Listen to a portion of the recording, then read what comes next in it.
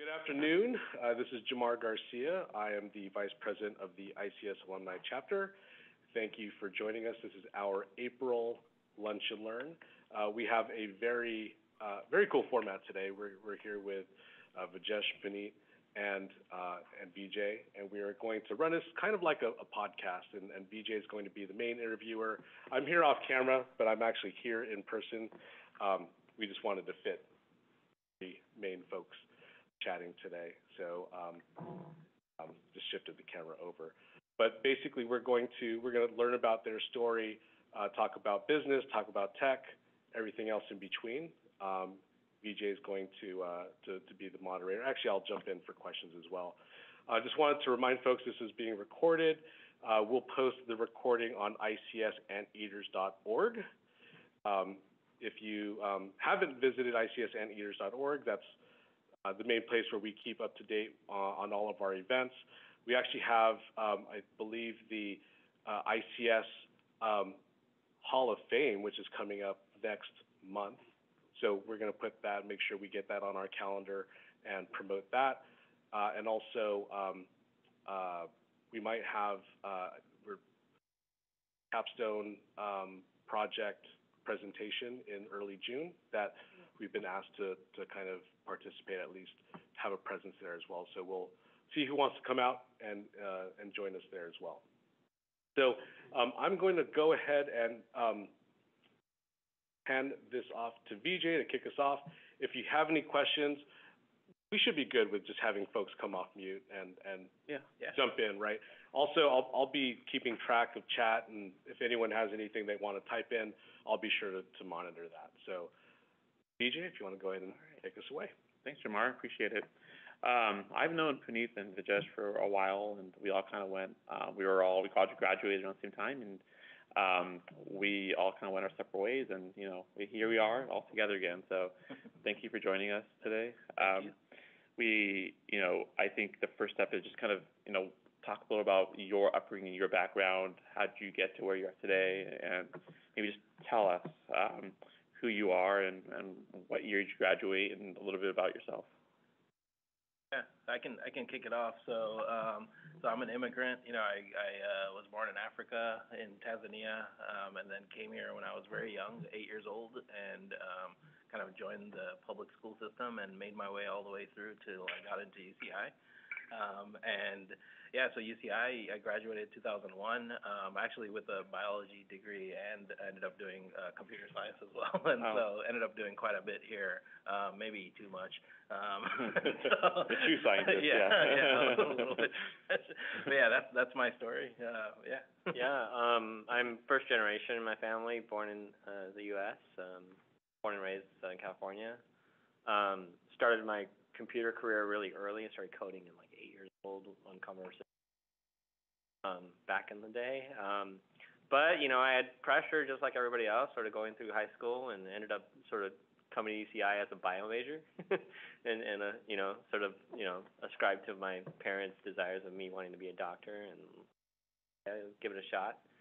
Um, and, you know, through my first year, I actually ended up, you know, doing my friend's ICS homework for fun, Um, just because I liked it so much. Um, and so, um, you know, by the end of the first year, it was sort of a done deal. You know, I needed to switch. And over that that course of that career at UCI, you know, Vijesh, myself, and a few others, we started a few companies here. Really got into the entrepreneurial spirit, right? Just just, just messing around with cool stuff, wanting to build cool stuff with technology, seeing what we can launch. Right. And, you know, built a good group of friends, built a few companies that failed. I ended up graduating a year late, super senior, uh, 2003. Um, but uh, you know, I had a good time because I, you know, we were around just just like tinkering with stuff and figuring out how to how to build a company. Um. Do you feel like the, you know, some ideas and entrepreneurial spirit you had when you were in college kind of resonates with you today? Yeah, I think so. Um, you know, we we, you know, we had so many different ideas. Some of them were were, you know, desktop-based, but we eventually landed in web, right? And we we liked some of the web ideas we had, and they had more scale to them. And this is before, you know, everybody sort of, like, cracked the World Wide Web wide open, right? So, you know, had some really good ideas there. And then, you know, actually, the funny thing is, um, we went back to just doing,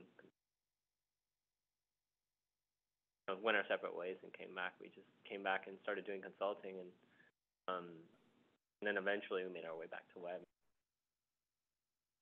You know, like, I'll, I'll tell you, UCI, um, you know, goes very deep in my family. All, my two older brothers, uh, are UCI graduates, my sister is a UCI graduate, you know, so we're big fans of, of like the anteater, anteater culture and everything. You know, and initially, you know, I started off in biology, like I said, but when I, like, similar to him, like, it was like, let me try this because I enjoyed computer science and I'd been doing it since I was a kid.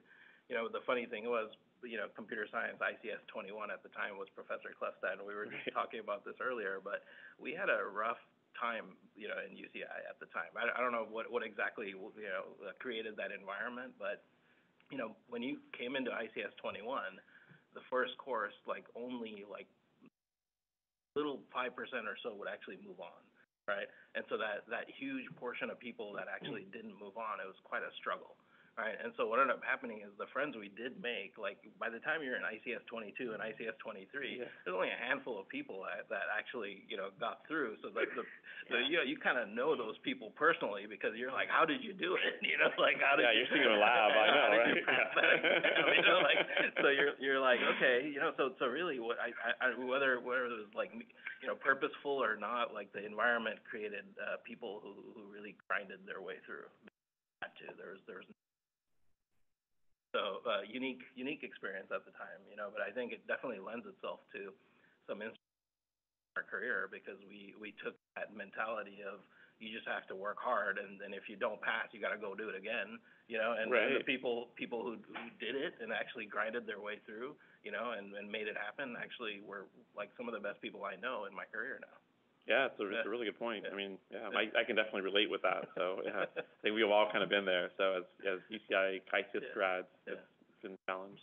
Right. It's great. Yeah. Uh, so you talk a little bit about, um, where you guys are today and, um, a little about, I know you've kind of started a few companies over the years, so talk a little about, you know, these companies and, um, what your main passions are and what you, how, how you plan on growing these companies? Yeah, so, you know, I'll, I'll kind of kick off the founding story, you know, so essentially, like Punit said, you know, we, we started several businesses while we were at UCI, and what, we really figured out were, you know, here are some people who didn't want to work for some, wanted to create something on their, they were having fun doing it, right? So initially, it was just a way of creating great friendships. And, and we did try a few things, and we failed, and what we realized was, okay, it mattered who was in your team. And so the team kind of shifted to the group that we had, you know, that started EZ Texting at the end. and so, um, you know, that's one thing we learned really quickly. But along the way, you know, we basically started doing consulting as a first attempt, right? So we, we finished up at UCI, we all kind of went our separate ways, you know, we'd started several businesses that failed already. And at that point, you know, we, we went and, you know, Punit got a master's at Harvard in computer science, he came back, you know, to LA. You know, I had, I had gone to USC and I, I got a master's as well. Um, and so I, I, I was in LA at the time and one of our, uh, other partners, Dinesh and Kamneev, you know, he was in LA at the time as well. And we got together and, you know, that, that spirit came back, the same Mhm. spirit of entrepreneurship that we had at UCI. And so initially it was just like, hey, we don't wanna work for anyone else, so let's figure this out. Let's work for ourselves, right? And so we got some consulting projects. We got some projects at the Navy, you know, doing the air quality management, which I remember, Vijay, you Yeah. helped, helped with a Yeah, little bit. I did. And so, Yeah. uh, at the time, you know, we, we, yeah, we pulled in anybody we knew that, that could put their fingers on a keyboard and, and could make us, you know, develop a business, right? Right. And so we started with that, and we started some consulting, but very quickly we started realizing people were asking for something very specific, right? They were asking for, hey, we have this, you know, uh, Nortel system or this Avaya PBX system in our office, and, and this is how our phone calls work, and we don't wanna pay for a renewal of the license, right? We wanna use this new Asterisk is open source, and we wanted you, you know, install that in our office. We went about doing that. We started installing Asterisk, and what we ended up doing was learning VoIP. And we learned VoIP very well, and we tried to figure out, you know, how do we scale this thing? And very quickly, you know, we started realizing that this wasn't for us, right? And this is actually one of the key first, first inflection points of pivoting, right? So we were a consulting company. We'd done all sorts of random projects, like I said, air quality management software, housing project at UCI, VoIP stuff for different offices, right? And I just remember this one client, um, you know, his his first name was David. I forget his last name now, but the you know he had a live TV ad going out on television, and he had a hundred person call center set up, mm-hmm. and it was it was our contract, you know, so we it was like twenty thousand dollar contract. It was huge at the time. We were like, wow, we can pay ourselves for a month, like, you know, like, like we're gonna be great, you know. So we got this huge contract, you know. We're like, okay, we're sitting in there, you know, like we're crawling under the tables, installing like network wire. You know, we had all these servers. We installed Asterisk and all the open source stuff. We try to figure out how hunt groups work and how do phone calls get routed to people who are not busy and all that kind of stuff. And we were doing this, and I, I just remember the grind. I mean, we were sitting there day and night, not sleeping. There's a live TV ad going on, and a hundred salespeople walking in, walking in Monday morning. This stuff had to work, right? Like this was this was the entire business was gonna fail if we didn't do our job of it, right? And we, we just couldn't get it to work. You know, we we were just. I mean, at, at one point we were taking turns. Like, you know, we were so tired. We were just like, you sleep. well, well, well, we do this, you know, and then and then it's like okay, and then one of us would wake up and be like, you know, like now my turn to sleep, and like, Oh, my goodness. Wow. like we would just be taking turns Yeah. just to see if it worked. But at the end of it, it just didn't work, right? I mean, we just had all these people sitting there. None of the phones were ringing. The live TV ad was on. All of us were exhausted. The boss was just like looking at us, going, seriously, like this is this is what happened. You know? It was just the whole thing was bad news, right? And and and at the end of it, you know, it was really what ended up happening was we we came back and you know we were slept for a little bit and we we got up and we we just thought about it and we're like you're like this is not us. You know, that's what we realized. We're like, we don't want to be in somebody's office crawling underneath their desk installing their phones. We don't want to be called if two of their phones stop working one day, you know, and we got to go repair this. Somebody has to be on site to repair that. You know, we don't want to do any of this stuff. You know, like a, a little bit of what I did was I, yeah, at USC, I was able to work at the Southern California Earthquake Center, and professors would give me like these algorithms for how rocks and sand and water and stuff would move we would kind of put them into software and run them on supercomputers to simulate them, right? And see what an earthquake would, would cause the ground to, how would it shake, right? And all that stuff was, that was easier, right? You give me some code and run it on, you know, a few thousand computers, okay, that's cool, you know, I can do it in a data center. But, you know, put, put us in a, in an office and have us install these like network wires and phones and all this kind of stuff was not us. So really, you know, that was like the first pivot we made you know, and this this is kind of a story of of pivots, you know, and like at the end of the day, we we really wanted to do something that matched our skill sets, right? And we decided, look, on premise, we just can't do this. I do do cloud, like anything on the cloud, anything that runs on servers on the cloud, that we'll we'll handle, that we can do, and that was like our core skill set. Yeah, I did my, um, my background was web as well, right? So I worked for Microsoft for a little. while. Are we, are we even building anything on-prem? Building anything? My master's was actually distributed databases. So I was really working with Cassandra in the early days and and all that kind of stuff. So we just sort of said, okay, why don't we just stick to what we're good at and, and build a business around what we're good at, right? So, um, we, we took what we already knew people wanted, which was this phone system, and created, um, created a, a company called, uh, callfire.com, right? And, um, the, well, some of the challenges that we were facing inside of the, the data center, or inside of the, the call center when we were going in, is we were dealing with other people's carriers and other people's network connections, other people's, like, infrastructure. And now we get to build our own infrastructure, create our own relationships with carriers, have our own vetting process for who was a good provider of telephony and who wasn't, right? And so our quality went way up, right? So we were able to produce this like really high quality system that anybody could use the web instead of having to like crawl around under a desk Right. and attach two wires together, right? real quick, guys, if you guys can, um, speak up a little bit Yeah. into the Polycom, we're getting, need to be a little bit louder. Okay. for the- Okay, okay. No problem. Yeah. Speaking of Yeah. VoIP, and you know, you guys are very sensitive to that, right? Just, uh, Yeah. let's, let's, technology, let's help the technology a little bit with, uh, Hasn't come far enough yet. But Sorry. yeah, so like we we just leaned into our strengths, right? Um, and then you know we built this business, and then you know you know as as you get closer to that customer and the customer's coming in, you know the business starts to take on its own its own um own world even, right? Right, You just right. start to learn about what you're supposed to do. But there's always going to be challenges, and that that first big lesson of like, hey, you know, we made a huge failure here. We need to learn from it. That just carried us through our career. moments like that where we'd have a big lesson and then we pivot or we'd shift something around or we'd automate something away from ourselves, right? Because we it wasn't us. But going to like a brand new medium, like you mentioned, and going, you, you're taking your VoIP experiences and bringing them to the web. Um, I mean, I'm assuming there's a lot of challenges and hurdles you have to overcome in terms, everything from policies and regulation to all the way to, you know, understanding, you know, breaking down to different coding modules that you have to, understand to make sure this happens. So how did you guys kind of get and overcome some of those, those chasms, for lack of a better word? You know, we, I, we, let me, let me try to fill in a few of those things, right? So initially speaking, you know, like we said, we went from kind of a on-premise voice over IP company that was doing phone systems, right? And we switched to an SMS company and we became eztexting.com. There's a, there's a story of how we got there. Yeah, there's definitely, definitely challenges along the way. But the first and foremost was the switch from consulting to, to, uh, online Okay. right? And then we, we ended up becoming this online company, right? So that was our first struggle, was just realizing that we're not on-premise people. We're not gonna be able to service an office and, and have staff to do that and handle all of that. So we became this on-premise company, like you said, and we became callfire.com. And callfire.com was basically a company that was designed to democratize communication for small and medium businesses, give them the power that the bigger corporations had and they were able to pay for.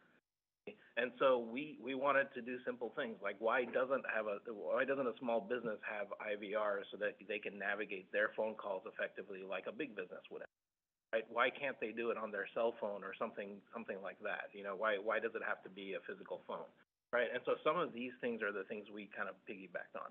And at the time, you know, we dealt with a lot of difficulties, you know, carriers, um, didn't exactly have voice over IP at the time. You know, they expected you to actually buy T1 lines or, you know, DS3 lines and things with actual bandwidth requirements, right? And we were hunting for people that were not like that. We were hunting for the ones that wanted to do VoIP. We were hu- hunting for the ones that wanted to do everything over TCP/IP, Sure. right? And and that's that's what we hunted for. And you know, there were some great partnerships we created at the time, and we built a wonderful business out of it. But something magical happened along the way, and I'll let Punit say it because he he he figured this out, you know, internally because we were all kind of staring at it, going like, are we in the right business? And this inflection point came up, and and he'll tell you how we oh, how we ran into. So, so around two thousand and, around two thousand and ten, we started to see, like, so we're running this business, we're sending out all these phone calls. And, You know, we have all these stats on all these phone calls that people are sending out. We have no answer, busy, you know, answered, transferred, whatever, whatever the phone call might be, and whatever happened on that phone call. What we're seeing was this, h- this, this huge, in huge demand from the market to say, hey, we want answering machine detection as we send these phone calls out.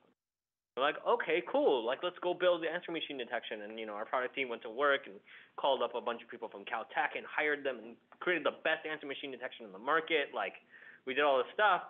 And, and then, you know, like a month after we sort of finished it, we said, oh yeah, we've got the best answering machine detection ever. We, we saw a little bit of an inflection upward, but then we were like kind of staring at the numbers, we're like, wait a second, like, why was everybody asking for answering machine detection? Well, the thing was, is this thing came out. And everybody all of a sudden had caller ID and visual voicemail. So you didn't need to answer the phone anymore. So what was happening was all these phone calls were going in the answering machine. We're like, holy shit. Guess what, guys? Voice might still go up a little bit for a few years, but eventually, right, this thing is gonna start to decline Right. right? We started to look for something else, and we're like, what's next? And texting was sort of just a consumer thing, right, back then. And, um, Or we didn't, ringtones. I think ringtones were probably Yeah. like the big Yeah. consumer thing yeah. at the time. So you Right. got your, Yeah. you got your ringtones through text messaging, right? And so, um, we ended up integrating with a partner, EZ Texting, um, back in eleven. And we said, okay, well, we're integrating with them, and we'll see what this, this thing is all about. And then we're looking at data, and we're looking at the number of people that pick up a phone call, and the number of people that, that click on the text message link, and we're like, holy crap. Right, like, this is eighty times better than this, Yeah, right? Right. And so what we did was we acquired EZ Texting back in Interesting. two thousand twelve. Oh, okay. And they didn't know what they had. They, they had a good business, you know, doing about five million dollars in revenue, like, pretty solid business. Right. But they didn't know how, how much scale we were gonna get from this thing. What we could see was like, this is the evolution of email, this is the evolution of phones, this is the evolution of like, any communication that you wanna do, right, Right. it's gonna be more effective via text. We didn't know how we'd compete with social media, but, um, we didn't know how big social media would be yet either. So around two thousand and sixteen, our bet paid off, right? We sort of kept EZ Texting around, funded their business, that, you know, helped them grow. They helped, you know, we, we sort of, voice still grew pretty fast for the first few years, but then it started to taper, and then SMS around two thousand sixteen just started to take off like Sure. crazy, and we started like, okay, fine, we've gotta dump all of our money in this, right? We started marketing like crazy, we started building more products, more, more features, and lo and behold, now millions of companies all over the world are using SMS, right? Because consumers are actually asking for it. Like, we're at the point now where you can't imagine getting a phone call from your pharmacy for your prescription to be ready. That, that'd be ridiculous. Right. Right? Like, why would you do that? Or, you know, and, and now even, you know, Gen Zers are saying, I don't wanna live in a location where I can't, you know, pay by Stripe, pay my, pay my, uh, rent bill by Stripe, or I can't pay, or I can't talk to my, um, my auto dealer via text message to fix my car, or I can't talk to my doctor about my, you know, my ailment via, via text message. So, um, so yeah, the, and, you know, our bet paid off, but we sort of had this crystal Great, ball. yeah. But it was all about looking at the data, looking at the business. So we actually have a question. Jeff, you wanna come up too? you No. I did. So, yeah, I, I'm not understanding, are you guys a technology company? Are you a consultant? Are you a service provider?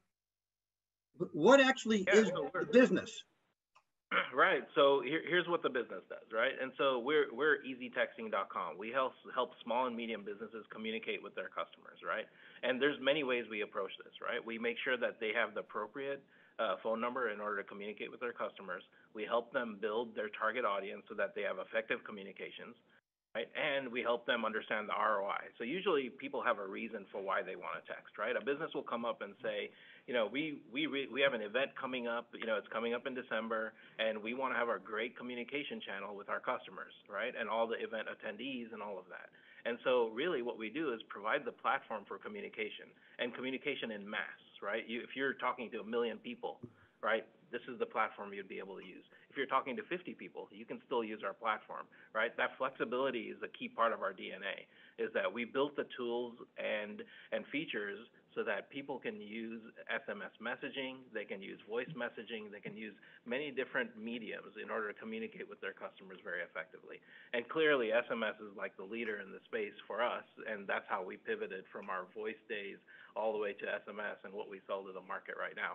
Does, does that seem to answer your question? Yeah, let me give you a little bit more clarity. We only talk to about five percent of all of our customers. So ninety-five percent of our customers are finding us via the web, coming to our website, signing up, just like a traditional SaaS business, right? And the, the SaaS product is getting them through this, this sort of new marketing medium and, and helping them sort of negotiate with themselves about how much of that medium they're pulling, how much of that comms they're pulling away from email and phone calls and into text messaging.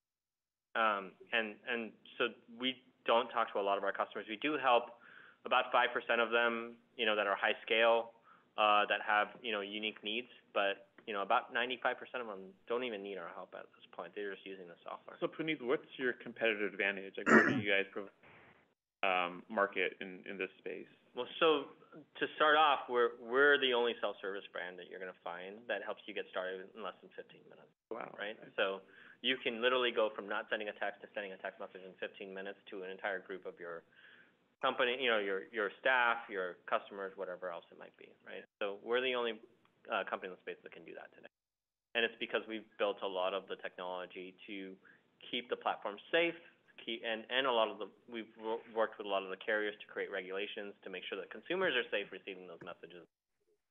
Um, so that, What- in a nutshell, is our competitive advantage.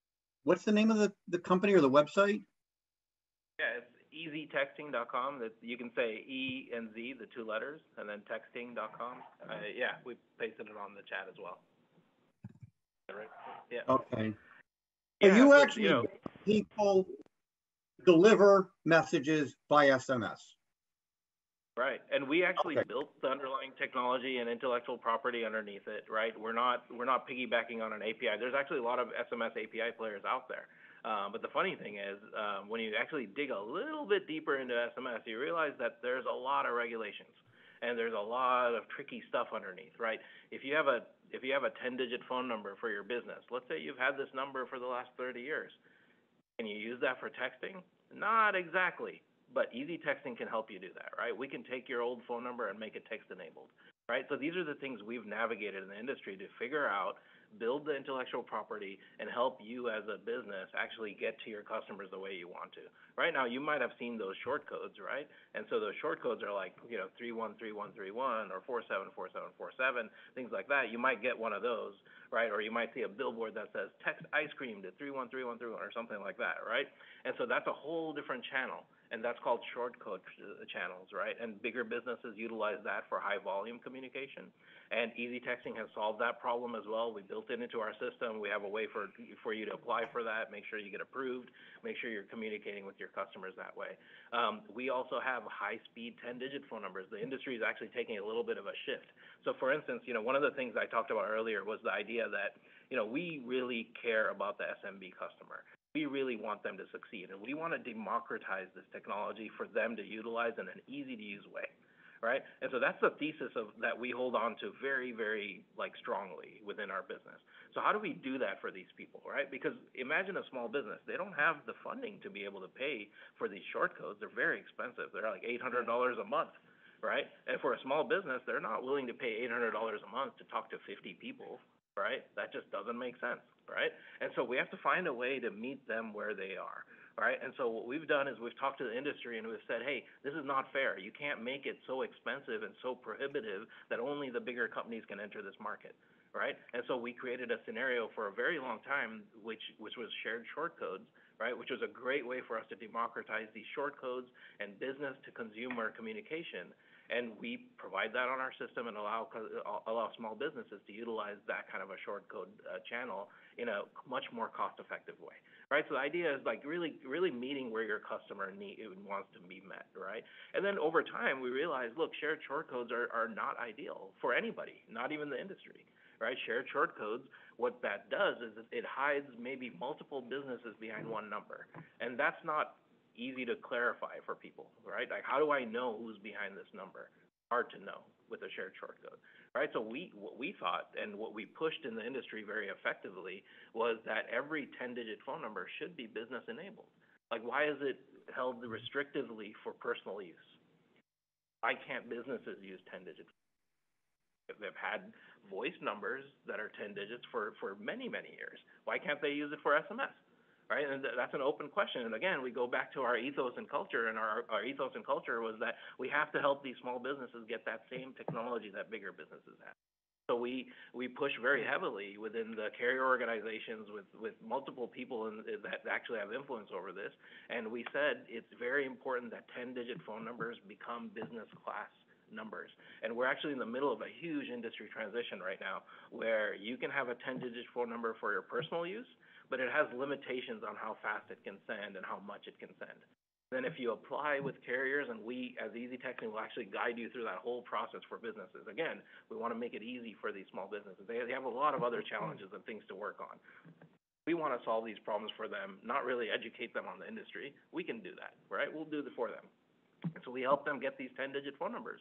We help them apply and make sure that their business is registered, and these 10-digit phone numbers can actually send lots of texts. In fact, they can send millions of texts at high volume once we get them through all the checks that we, we want to do, make sure they're safe, make sure they handle it properly. You know, but that ethos really carries through all the way through from, you know, our founding days till now. We consistently want people to be, you know, able to use our system on their own without needing help. You know, the system has to be very flexible has to meet them where they are and be cost effective for their needs. Just to add there, um, EZ Texting is now the largest provider of texting in the country for small to medium business.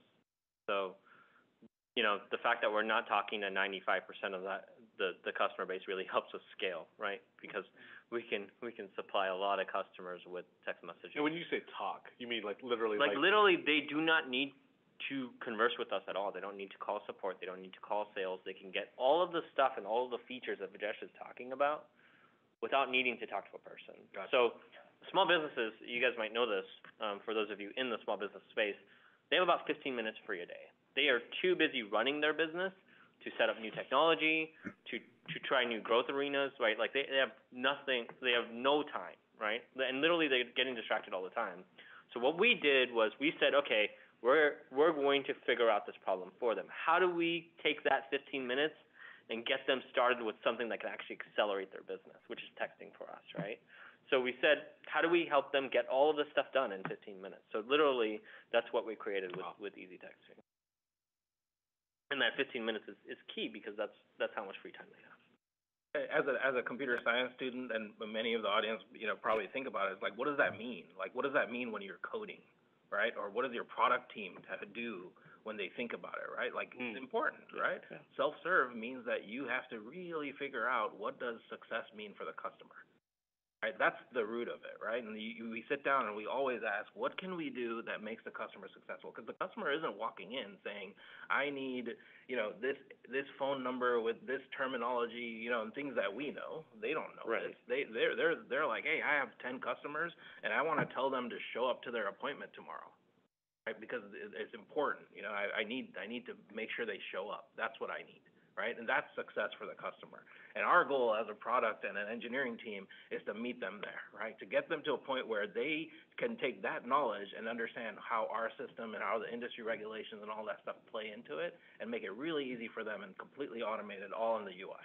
So, just from experience, I mean, I, you kind of, you know, what you just said resonated with me because I go through it on a daily basis. So, if you're going after a campaign or a new set of, a new market in your small business, where do you start? Like, how do you guys know where to start with these, some of these campaigns? Are you guys focused? Do you guys help the, the small business focus and maneuver and figure out what that customer base is that they need to attack to grow their company? Or where, can you talk a little bit about what you've seen? So we, we take on, at, at the, at the business, we're very horizontal. So we're, we're servicing a lot of different customers, right? A lot of different industries. What we've established are jobs to be done, right? You have, you have a few jobs to be done in your business. You wanna grow revenue, you wanna grow your audience, right, of people that you're talking to. Um, and, and you wanna measure, right, how successful you are. So these jobs to be done sort of lay themselves across multiple industries. And then all we do is we give you examples of how customers are similar customers, because we have so much scale, are doing what you want to do within that job to be done. Example, right? You're running a law law firm, and you want to you want to start communicating with your your um, your cases via text message. Well, here's 30 other law firms using our software doing the exact same thing, and this is how they set it up, right? And so we don't have to get into the like the advising too much because the network effect of like how big we are now really lends itself to like you know self-serve even knowledge bases. Yeah, that's right? really, So- really important. Yeah. Interesting. So you Yeah. say jobs to be done. Yeah. It's a, it's a, it's something that like triggers something because like, it's a very, it's a very specific phrase. Yeah. So is it, I guess, now, I'm now going through like in my mind, like all the Asymco, Horace Dediu, like if you like, you know, followed all the, you know, um, uh, Apple-centric kind of, or like the Bob Moesta, disruptive innovation, all that circle around Mhm. jobs to be done and focusing on jobs to be done.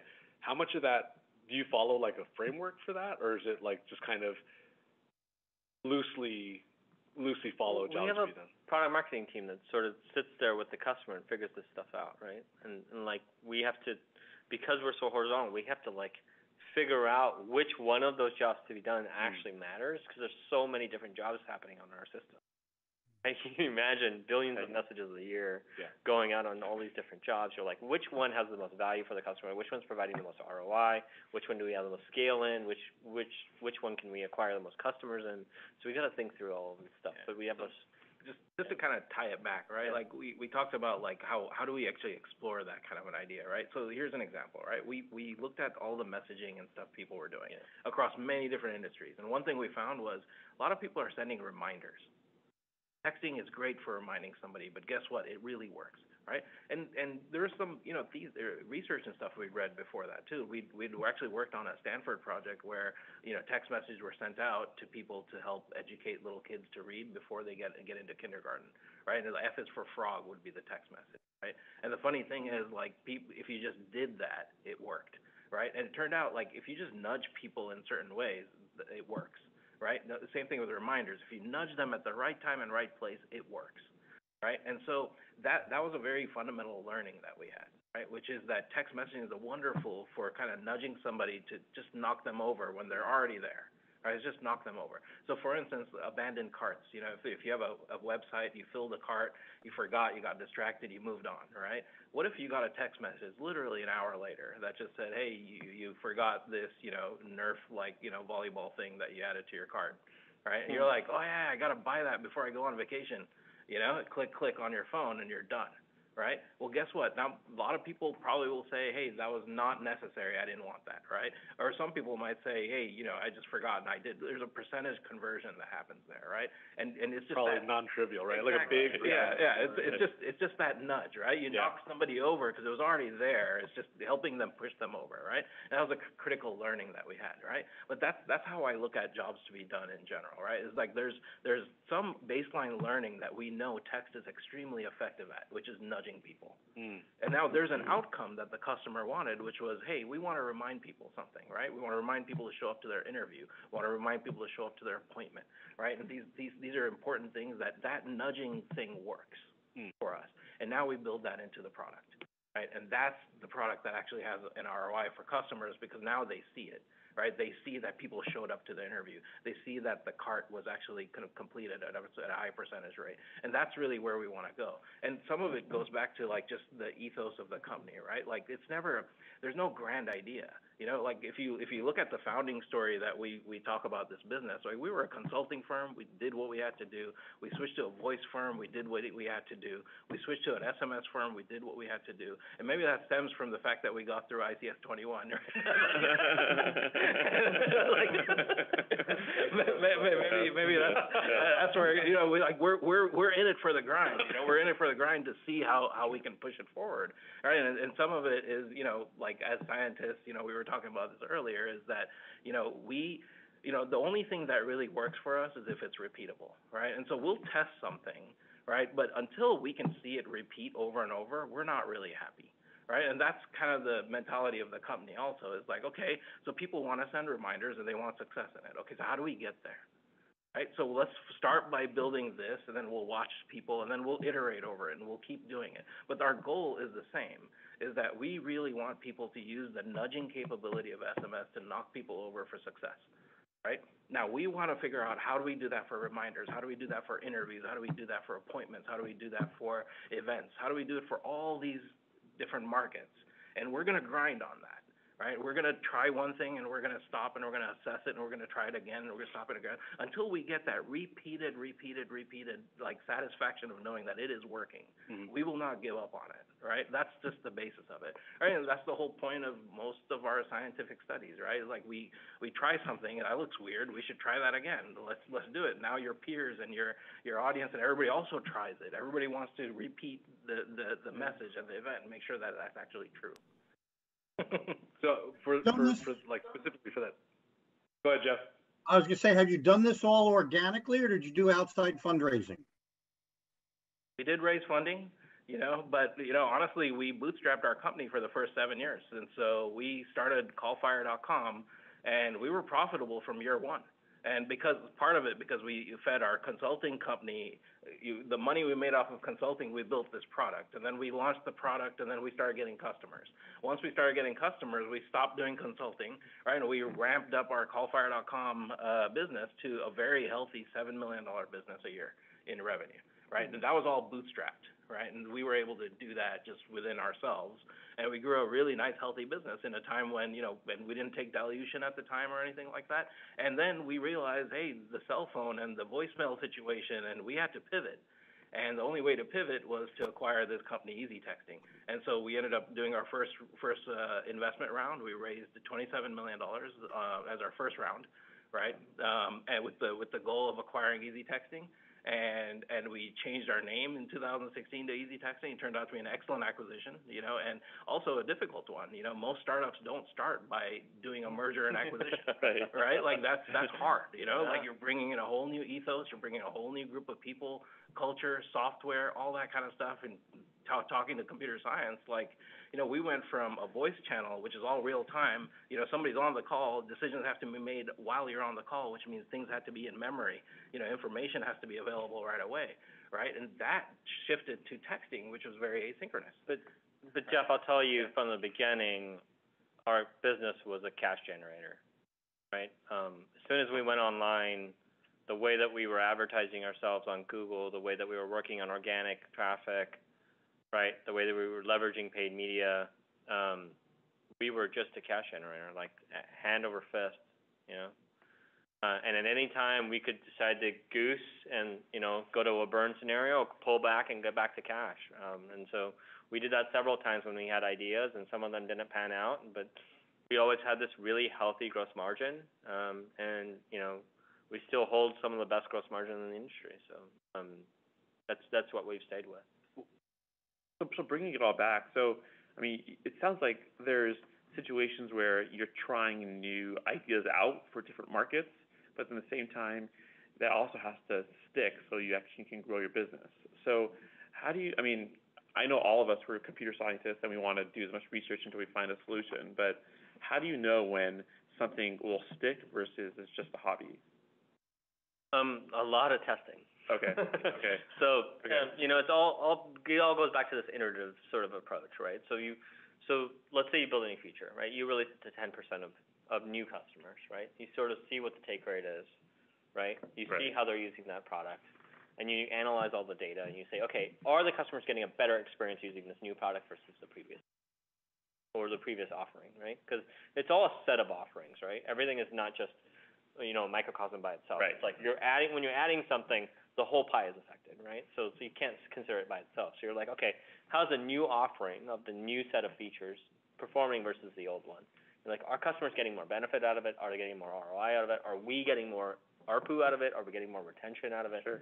Right? And then you scale up to forty percent, then you scale up to fifty percent, then you scale up to sixty percent, and around sixty percent, something magical happens. You can sort of go, okay, I like the old business or I like the new business Right, more, right? right. Like, You really start to feel it, because then you get the full scale of the support teams managing it, the dev teams keeping the system live, right? And your, your marketing engine sort of like really cranking and getting people in. Then you're like, okay, now I know whether this is really the thing or not. And if, you know, you have to scale back to the old version, then you do, right? But you've learned a whole bunch along the way. Right, right. Hey, there's pieces of this that we need to use in our next product release. Right, especially with SMS is very generic and open-ended, but at the Yeah. same time, you also have to kind of, you know, dive into a certain market to see if it sticks, and that's Yeah. what you wanna, you know, use to grow your company. So, yeah, it, it definitely makes sense. Interesting. Yeah, I think, uh, what is it, strong convictions loosely held is what Marc Andreessen or somebody said, Yeah. you know, like, that really is a really great way of approaching things, you know, which Right. is, first of all, don't overcommit, right? And if you, if you make a mistake or your idea doesn't work, don't get grumpy or upset over it, just, you know, like, okay, it didn't work, move on,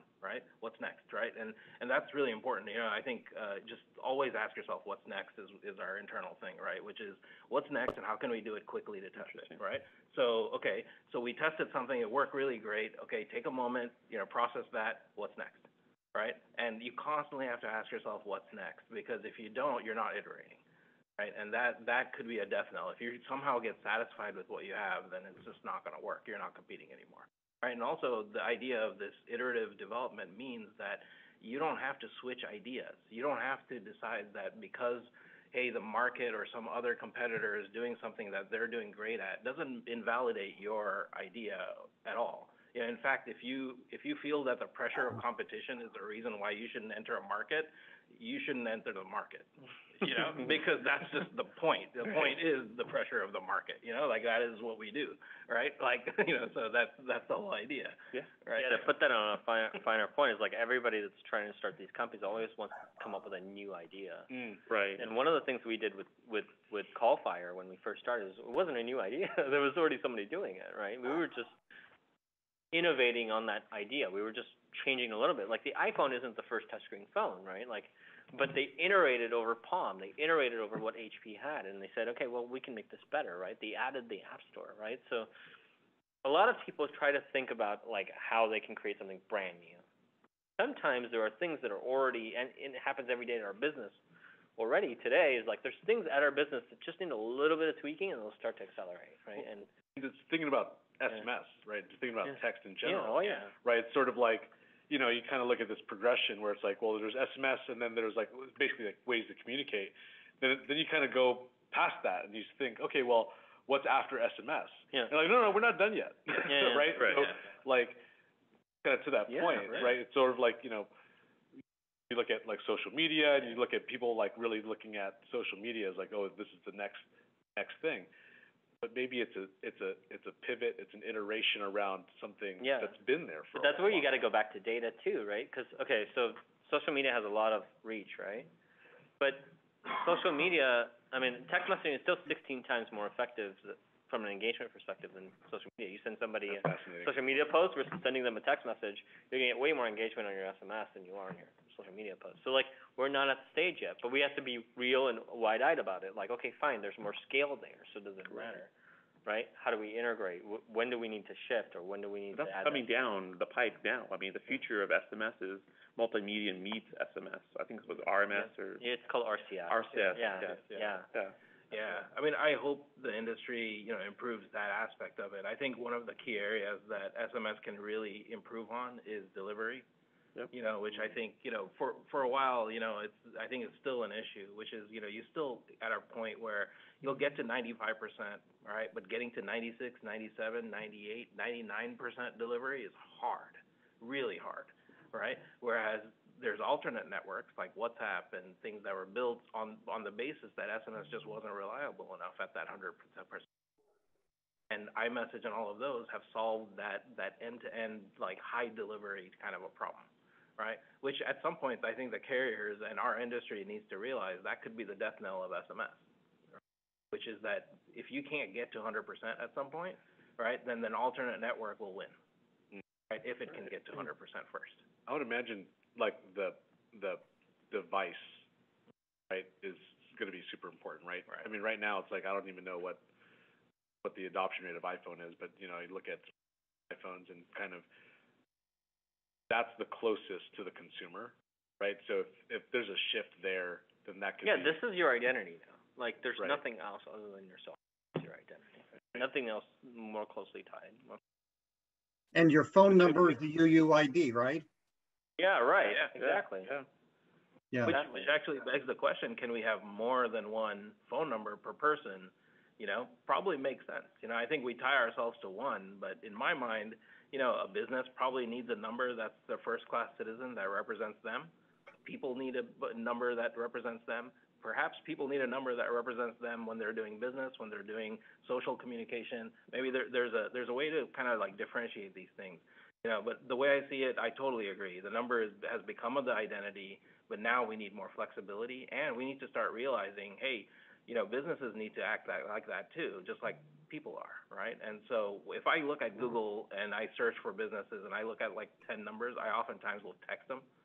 I'll, I'll Hmm. never get a response, you know? And that, that to me is just like. you're just like looking for a Yeah. phone number for Google and texting? Yeah, and, and as a, no, seriously, like, as a, as a, as a SMS company, you know, like, you know, founder and, you know, currently CEO and, you know, like, we're, we're here, you know, thinking, wow, there's a whole business, a whole, like, group of businesses that have no clue that they need to be on this, Right? These are just customers for me. You have a new generation of folks, they get a phone number, they're not calling it.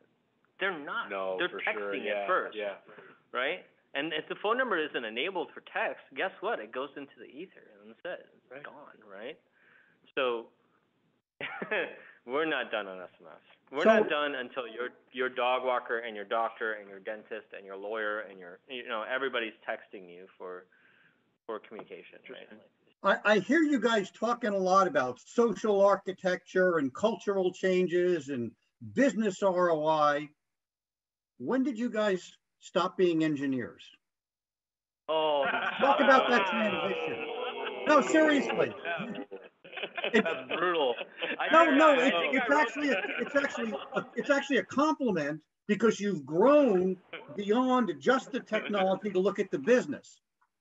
But, and it's an we, we important, still have pride in being that- engineers. where's I that guess view- that's the that reaction button? you're getting, right? Like we are still engineers. I think Vijesh and I still code once in a Yeah. while. Um, you know, I just I just wrote a bunch of SQL last last week, right? Like I, I mean, yeah, I wrote I wrote some uh, JavaScript uh, last night um, just, just to automate a spreadsheet um, that I wanted to do. Right, I wrote a little app script from Google. Right, so look, at the end of the day, like a lot, lot of lot of tech stuff is you know we still dabble in it, but but now we've hired a whole team of engineers and and all that stuff.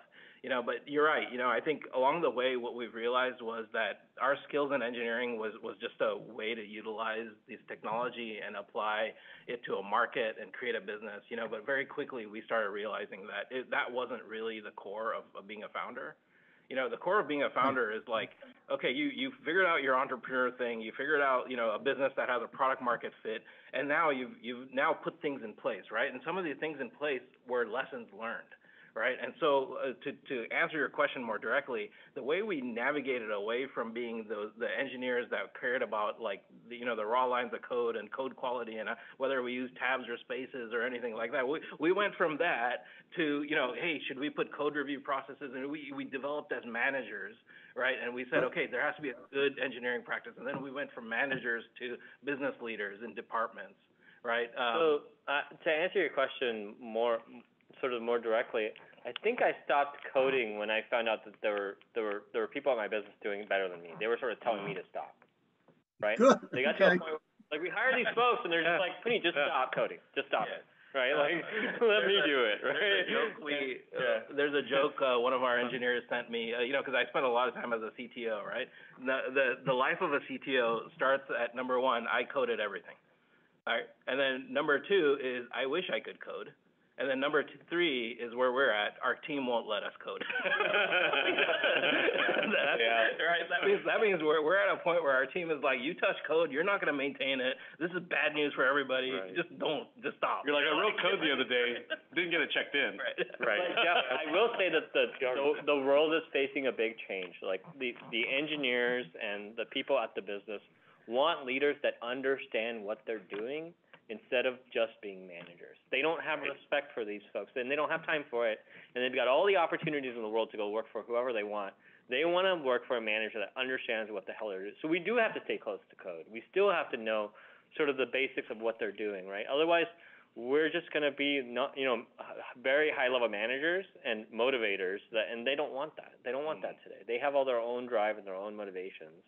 They just want somebody that hears their mm. ideas and says, yes, I'm going to invest in that. There, there are, I mean, I think those engineers are de- are depending on the managers to make sure that that product that they're developing sells and it goes out to the masses. Yeah, I hear that, but like, also like, I, I, you know, I just like, over the last year or so, I've heard all of these folks sort of tell me more, more rampantly, I don't wanna work for somebody that has to explain, like, you know, in particular, I'm talking about a, a BI team. I don't wanna work for somebody I have to explain data to. I'm on a, Mm. I'm on a business intelligence team. Right. I don't wanna explain data to my manager. Like, he should know, he's the manager of the data team, Right. right? So the, similarly, the same thing is happening in engineering, the same thing is happening in sales, the same thing is happening in marketing. If you don't understand what your team is up to, or what, what they're dealing with, the problems that they're dealing with, and help them navigate more cleanly, and know when, Right. like, okay, that's part of the course, like, okay, this is just a normal problem versus something that's something we really need to jump on and solve, create chaos for them. And so you have to understand what, what's going on in their business. So, Good point. and, yeah, Sorry, go ahead. sorry to, ju- I was just gonna say, we have, we have five minutes. Uh, Oh. I just wanted to kind of, you know, Yeah. make sure that we're, uh, uh, sensitive for other people's time and, you know, like, yeah, we like to keep it kind of right there, Yeah. um, at, at, um, at an hour, but, yeah, just like maybe kind of closing, I do have one question as far as like advice you might give. It's, it's almost graduation season. We, we- Yeah. we came in, so we're, we're here at the NAC, at the, uh, Newkirk Alumni Center. We did wanna, to, to reserve the, uh, the den, which is a really cool, um, room here, but it's filled with caps and gowns. So they're, they're, they're definitely ramping up here for, uh, for graduation, so, uh, kind of on that, um, any sort of advice you would give for new graduates or new alumni that are gonna come into the ranks, just pieces of advice. your team matters most. That's my advice. You gotta fill yourself, uh, fill your life with people that, that complement you well, meaning they fill your gaps, they watch your back. I don't know if you guys n- noticed, but Vijesh and I are very different, right? He's very, like, by the book, very, like, meticulous. Well, it's funny because And I'm super promoter, right? Like I'm like out there sort of like, you know, on the edge of risk, right? So like we needed to have each other to push each other, right? Like do the right thing. So I mean, that it's it's a key to success. when we started, so Vijesh said he wasn't much of a talker. Yeah. Believe it or not. we got him going. We got him going. Yeah. All right, well, Yeah, I'm, absolutely. I'll, I'll tell you a few pieces of advice, right? Like, and, and I don't think, look, advice is like a dime a dozen. You'll get it everywhere. We're not the type of people to obviously take all the advice from, right? But this is what helped us, right? Number one is appreciate your craft and appreciate the people around you who know their craft. You know, like uh, this is this is something that we I talked about with Vijay and Jamar too, right in the beginning, right? It's like, you know, people always say, oh, let's go to a networking event, we'll network. You know, like it's never worked that way for me. What ended up happening was I found people that I were like I was always thought they're really good at what they do. You know, I want to be friends with them, right? And then we're just friends. I don't sit there and say, hey, can you help me with this or can you launch my business with me or anything. Mm, like, it just never transpired that way. What ended up happening is I just really respected what they did. And then ten years later, what, what I found out was like, oh wow, they're they're in this like crazy place in their career because they're good at what they do, and I'm at some place in in my career because you know hopefully I was somewhat decent at what I did, you know, and and and what ended up happening was that was like the synergy. It's like ten years later, I can talk to Vijay and say, hey, you know, we're both alumni, you know, UCI. Why don't we come back and do a talk to, you know, just just chat and see how things went? And that was the network, Mm. right? That's the network, right? Yeah. And what it, it was not something you you put into play. It was something that developed because you respect one another's craft, right? And I to me that that just means the world because I met so many people at UCI and people after, and it was never a concerted effort to do networking. But over time, we realized we're both good at what. Same with EZ Texting. You know, we acquired EZ Texting, but we didn't start off that way. They were just good at texting. That's all, you know, Yeah. and and we started using them as a back-end API, and then the day came when EZ Texting's founder said, "Hey, we want to sell," and we were like, "We want to buy," right? And mm-hmm. and it just happened. That's the network, right? The network happens not because it was purposeful, but it happened because you care about one another's craft. At least for me, that's how most of the connections and people that have helped me over my life have happened. It's there were never never a concerted effort. It was it was people I respected, and all of a sudden we had we had a mutual interest, and it and it worked out. Yeah. Yeah, thank you for, I mean, you know, I, I'm, I'm like blown away about how much passion you guys have for this area and how much passion you have for this ethos and businesses and this culture and making your craft profound across, you know, the industry. So, um, you know, thank you and congratulations on the success of your company and it's been, it's been a long time coming, so great job. Yeah, Thanks, no. thanks for having us. Yeah, thanks. This, this is fun, and you know, obviously big fans of UCI and the alumni group here. So uh, hoping that we can grow the audience and everything too. Awesome. Well, Sure. thank you so much, and, and thank you for everyone for joining us and those of you that will uh, uh, watch this video later. Um, if you, um, so actually, a couple things coming up. So we have this month, April, right? Later on this month, we do have a volunteer fair uh, at at I think it's here at the NAC. So uh, keep an eye out on on email uh, for any announcements or, or uh, you know the Slack channel. But you know we're looking for volunteers if you're interested in um, in joining uh, leadership with the chapter. Uh, you know we're we're uh, planning on creating uh, a lot more, not just content like this or experiences like this, but also networking, um, uh, mentorship, education, social events. And so we're really trying to um, put a groundwork to, to get those things going. So um, if any of you are interested, um, feel free to, uh, we have our emails on icsanteaters.org, so feel free to um, email us there or, um, you know, join the Slack where we're going to try to um, uh, uh, try to use more actively to communicate. So um, I think of that, any any parting words, or I think I think we're good to go. Yeah. We're Yeah. good, yeah. Yeah, All right, thank thank you you for coming, Yeah. yeah. Awesome. Dot, Thank you. yeah. Dot dot Dot, dot. dot. Thank you for joining, everyone. Thank you. All right, thanks.